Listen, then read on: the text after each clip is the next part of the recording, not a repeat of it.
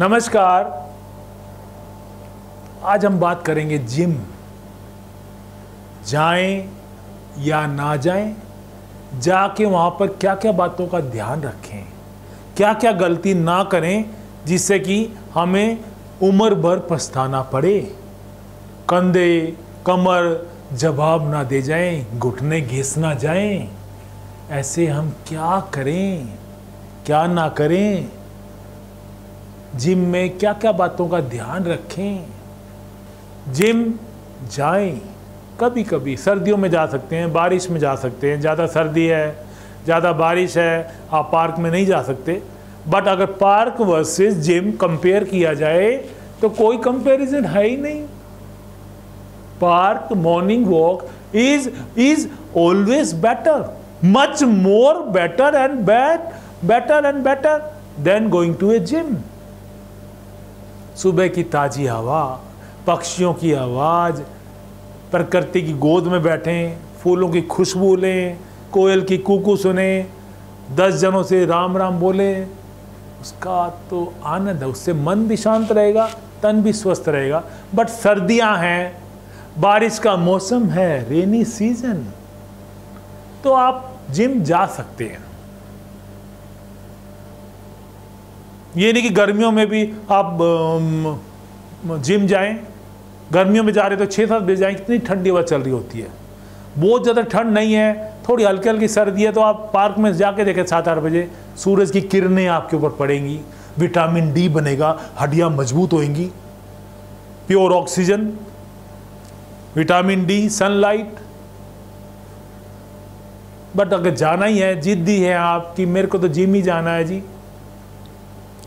वहाँ जाकर number one अगर आसपास में जिम है तो पैदल जाएँ स्पोर्ट्स शूज़ पहन के पैदल निकल जाएँ।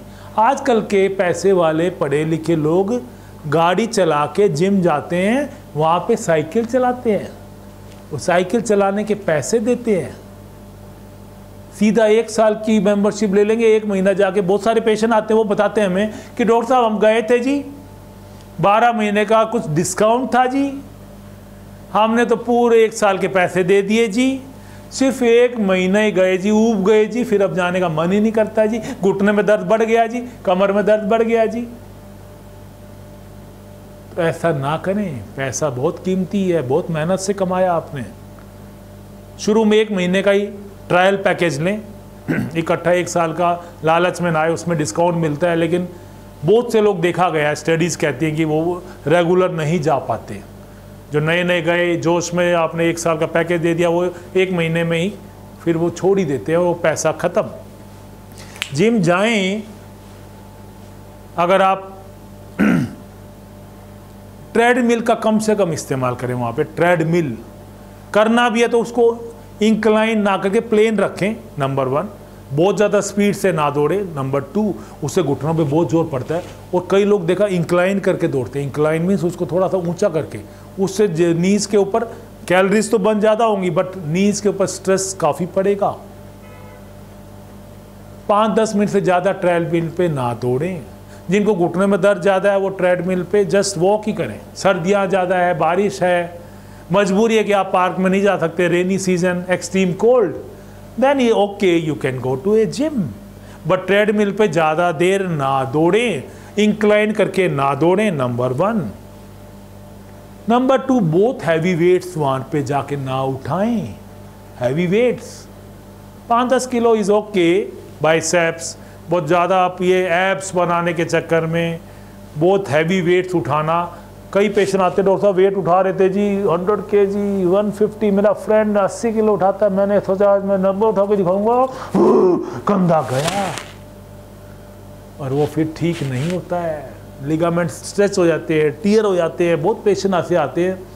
फिर वो दूरबीन से ऑपरेशन होता है पाँच छः महीने फिजियोथेरेपी चलती है और फिर भी ओरिजिनलिटी नहीं हो पाती। जैसा ओरिजिनल था कंधा वैसा ज़िंदगी में नहीं बनेगा, जैसा भगवान ने बना के भेजा था। वो एक बार जो इंजरी हो गई, वो ऑपरेशन के बावजूद भी पूरा ठीक नहीं होता। काम चलाओ तो हो जाएगा, साठ, सत्तर परसेंट, अस्सी परसेंट हो जाएगा बट पूरा नॉर्मल नहीं हो सकता।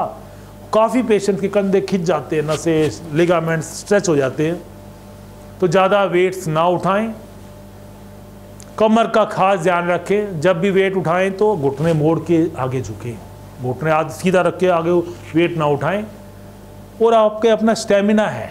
कंपैरिजन ना करें कि मेरा फ्रेंड ने ये 120 उठाया, आज मैं 125 उठा के दिखाऊँगा।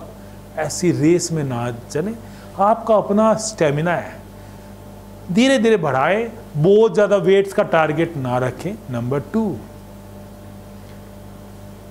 इसके अलावा जिम में क्रॉस इन्फेक्शन काफ़ी होता है। Cross ventilation is not there.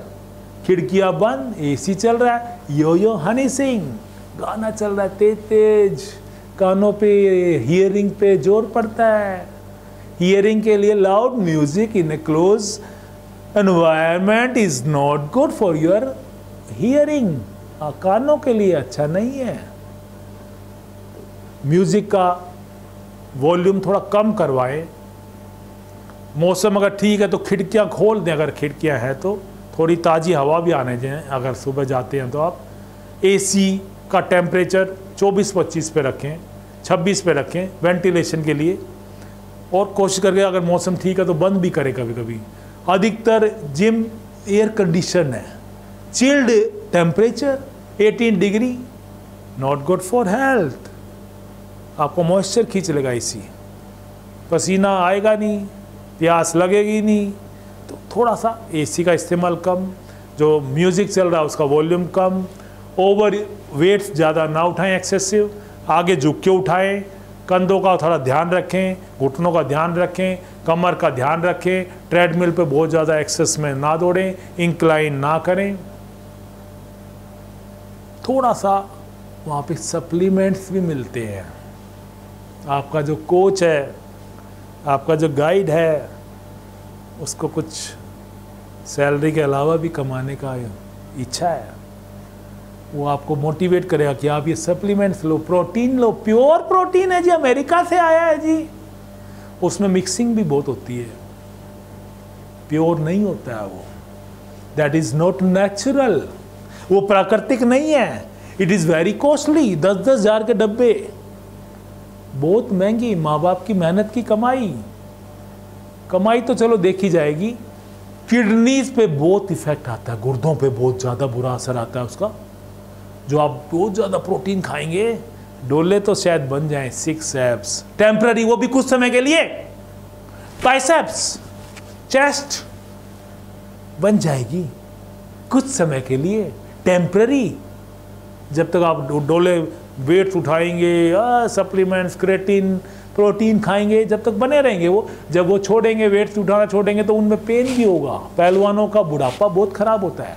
जो पहलवान लोग होते हैं, जबकि वो देसी आते भी होती हैं ग्राउंड में भी खेलते हैं, उनको बुढ़ापे में, मांसपेशियों में, कमर जांगों में बहुत दर्द होता है। जब वो वेट उठाना, ये सब छोड़ देते हैं तो जैसे पेट में चूहे कूदते जब भूख लगती है, हमारे पास आते हैं ऐसे बुज़ुर्ग। ऐसे पहलवान आते हैं जिन्होंने 10 साल पहलवानी करी और फिर छोड़ दिया, क्योंकि वेट उठाने की भी एक लिमिट है। धीरे धीरे जब आप 40-45 साल के हो जाएँगे 10 साल बाद 5 साल बाद तो आपको कमर में, घुटनों में दिक्कत, मांसपेशियों में, इनमें दुखेंगी ये। नस नस में दर्द होगा। कौन दबाएगा उनको? कौन मालिश करेगा उनकी? सोचो। अंडे। कई बच्चे आते हैं बीस बाईस साल के डॉक्टर साहब गर्दन में दर्द डॉक्टर कमर में दर्द हो गया जिप गए जी वेट उठा लिया जी। कंधे में दर्द हो गया अचानक आ गई जी। अंडे, हम पूछते हैं कि आप अंडे भी खाते हैं? कह रहा जी हाँ अंडे के बिना तो कैसे डोले बनेंगे? अंडे तो बहुत ज़रूरी है, हमारे कोच ने कहा जी, दस बारह अंडे तो डेली खाओ, अंडे तो बहुत अच्छे होते हैं हेल्दी होते हैं। संडे हो या मंडे रोज़ खाओ अंडे। बचपन में हमने ऐड देखा, लेकिन अंडे भी बहुत हेल्दी नहीं होते हैं शरीर के लिए। कई वीडियोस यूट्यूब पे अवेलेबल हैं, कैसे इनकी हैचिंग होती है, कैसे प्रोडक्शन होता है, काफ़ी मुर्गियों को इंजेक्शन वगैरह दिए जाते हैं। तो ये शरीर के लिए बहुत ज़्यादा हेल्दी नहीं है। देसी अंडे आप कभी कभी खा सकते हैं, देसी अंडे जो थोड़े थे ब्राउनिश होते हैं। थोड़े महँगे हैं, वो बीस बाईस रुपये का शायद एक अंडा आता है बट वो जनवरी में, फरवरी में जब सर्दियाँ हैं, वो फ़ायदेमंद है बायोटीन है, कई उसमें मिनरल्स विटामिन हैं। गर्मियों में ज़्यादा अंडे ना खाएँ। गर्म तासीर, जैसे मांस के बारे में हमने बताया था पिछले वीडियो में तो उसकी तासीर गर्म है। गुर्दे आपके हैं, बहुत कीमती हैं। बहुत बच्चों की 25-30 साल में आजकल डायलिसिस हो रही है। दस दस बारह बारह अंडे का अगर आप गर्मियों में खाएँगे तो बहुत प्रोटीन तो बन जाएगा। यूरिक एसिड भी बढ़ेगा, यूरिक एसिड से घुटने खराब होंगे, कमर खराब हो गए हड्डियाँ नसें हड खराब होते हैं, यूरिक एसिड बढ़ जाता है, बहुत ज़्यादा प्रोटीन लेने से। सप्लीमेंट्स भी ले रहे हैं, अंडे भी खा रहे हैं, डोले बनाने के लिए यूरिक एसिड बढ़ेगा। जोड़ खराब होंगे, यूरिक एसिड। किडनी पे बहुत ज़्यादा लोड पड़ता है। तो आपसे हाथ जोड़ के रिक्वेस्ट है, सर्दियों में देसी अंडे खाएँ, गर्मी में देसी अंडे नहीं मिलते वाइट वाले भी खाने हैं वाइट वाला वाइट अंडे का वाइट पोर्शन तो आप कम से कम एट ए टाइम तीन चार से ज़्यादा ना खाएँ। खाएँगे तो गुर्दे, घुटने किसके खराब होंगे? आपके। मर्ज़ी आपकी। हमने बात सीखा प्रोटीन सप्लीमेंट्स के बारे में, अंडे के बारे में। नॉन वेज भी काफ़ी खाते हैं जो जिम जाते हैं, जिनको मसल्स बनानी है बॉडी बिल्डिंग करनी है तो चिकन वगैरह कम खाएँ। खाएँ, हम मना नहीं कर रहे हैं। आपकी मर्ज़ी। आप शौकीन हैं, आपको प्रोटीन चाहिए तो बट कम मात्रा में खाएँ। हम आपको यही समझा सकते हैं। हम आपके वेल विशर हैं, हितेशी हैं शुभ चिंतक हैं, दुश्मन नहीं हैं। हम आपके भाई हैं, आपके बड़े भाई हैं, आपके दोस्त हैं। प्रोटीन खाना ही है तो आप अंकुरित चने खाओ ना। अंकुरित मूंग खाओ, अंकुरित मोट खाओ। थोड़ा उसको उबाल लो, थोड़ा सरसों के दाल, तेल डाल के जीरा डाल के, हींग डाल के छोक लो। कभी भीगे हुए खा लो, टमाटर, प्याज डाल के खा लो। अंकुरित चने, अंकुरित मूंग, अंकुरित मोट, स्प्राउट्स, बहुत प्रोटीन। राजमा भिगो के थोड़ा उबाल के खा सकते हैं, बहुत प्रोटीन। बहुत कैल्शियम, राजमा, मूंगफली। सर्दियों में छील के खा सकते हैं, गर्मियों में थोड़ी भिगो के खा सकते हैं, मूंगफली। मूंगफली में भी बहुत प्रोटीन है। दालें हैं, छिलके वाली दालें हैं, राजमा है, पनीर। टोन मिल्क लेके आए, उसमें दही डाले, नींबू डाले, फट जाएगा, छैना, उसका पनीर खाएँ, वो भी प्रोटीन है। शरीर आपका, मर्ज़ी आपकी, राय हमारी एक्सपीरियंस हमारा। शुभ चिंतक वेल विशर वीडियो तो अच्छा लगा ही है। करंट भी लगा ही होगा, अंदर से सोई हुई चेतना जागी है। लाइक करो ना मेरे यार। हम आपके यार हैं। हम आपके यार हैं। We are your friend share तो कर ही दो अपने यार दोस्तों को।